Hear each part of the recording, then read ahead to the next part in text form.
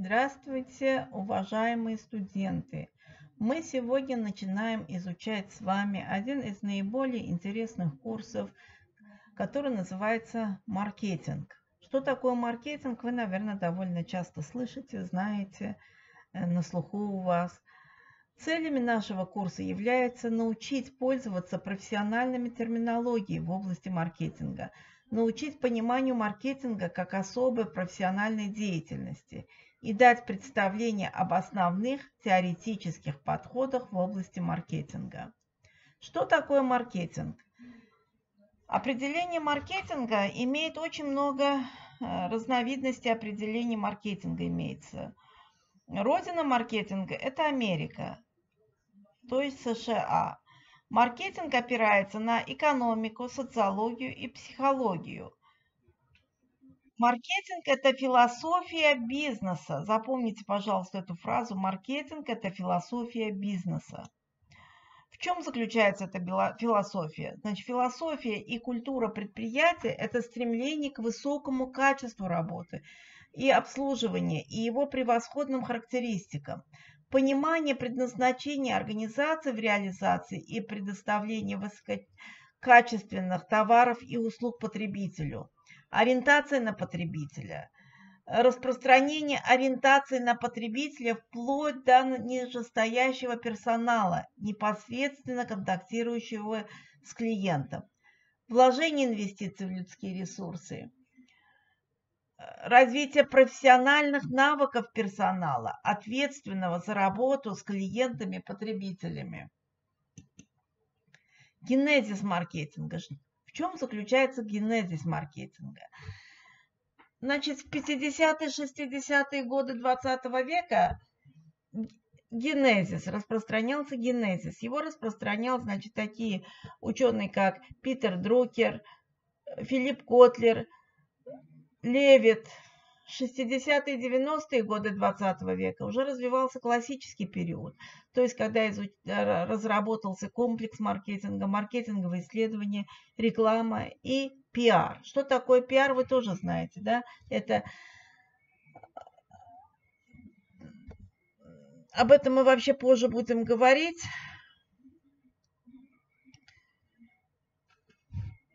Так, 90-е годы 20 века. Это по настоящее время. Это новейший модернистический период. Электронный маркетинг, дрим-маркетинг, холистический маркетинг имел место разви развития.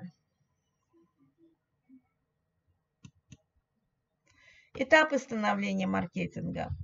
Маркетинг э, вычленяется как бы из общего менеджмента, как его концепт, как его внешняя функция – Менеджмент, ориентированный на потребителя. Менеджмент в организации компании как открытой системы. Первые концептуальные описания маркетинга, они заключались как борьба с маркетинговой миопией описанный Филиппом Котлером. Что такое миопия? Вы, наверное, знаете тоже это слово. То есть это близорукость.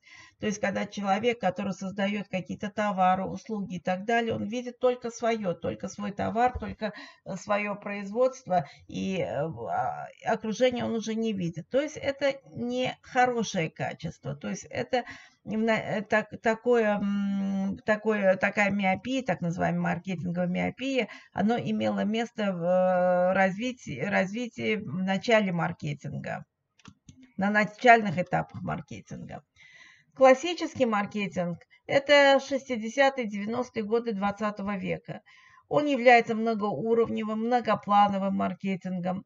Маркетинг как интегрированная внешняя функция менеджмента, то есть это маркетинговый комплекс, иначе мы его называем 4P.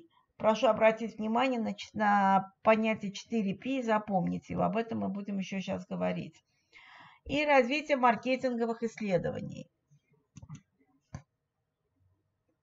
Современный этап развития маркетинга, в чем он заключается? Значит, это холистический маркетинг, то есть цел, целостный маркетинг, прямой маркетинг, директ маркетинг, брендинг, дрим маркетинг и электронный маркетинг. Ремесло. Маркетинговая деятельность, что она из себя представляет? Это ремесло, как особая профессиональная деятельность. Область теории, которая э, система методологических подходов и знаний, и учебная специальность и направление подготовки специалистов. Уровни маркетинга. Значит, э, из каких уровней состоит маркетинг? Это маркетинг на уровне корпорации, это маркетинговая стратегия, зонтичный бренд. То есть мы на уровне корпорации разрабатываем конкретные стратегии, которые э, необходимы для корпорации в данный момент времени. Что такое зонтичный бренд? Это вообще понятие бренд, вы, наверное, знаете. Да? Зонтичный – это тот бренд, который выбрасывается как бы зонт э, именно в то место, куда вам нужно. И вы изучаете именно э, целенаправленно данный, данный узкий отрезок и из этого делаете бренд. Маркетинг на уровне бизнес-единиц, то есть это продуктово-маркетинговая стратегия, сегментирование рынка и позиционирование. И маркетинг на функциональном уровне, то есть это маркетинговые исследования, организация маркетинговой деятельности и служб. Американская ассоциация маркетинга. Это, это первая ассоциация, которая э, поставила маркетинг на научный уровень и дала научное определение маркетинга. Маркетинг – это разработка товара и услуг, ориентированных на нужды покупателей, установление на них цен, распределение и продвижение этих товаров и услуг для осуществления систематических обменов – то есть сделок, с помощью которых люди и организации могут наилучшим образом достигать своих целей. Это определение, еще раз повторяю, Американской ассоциации маркетинга. Современное определение маркетинга. Маркетинг – это не только отдел, сколько, а, э, сколько ориентированная компания. Это Филипп Котлер, 4P – это маркетинговые инструменты производителя,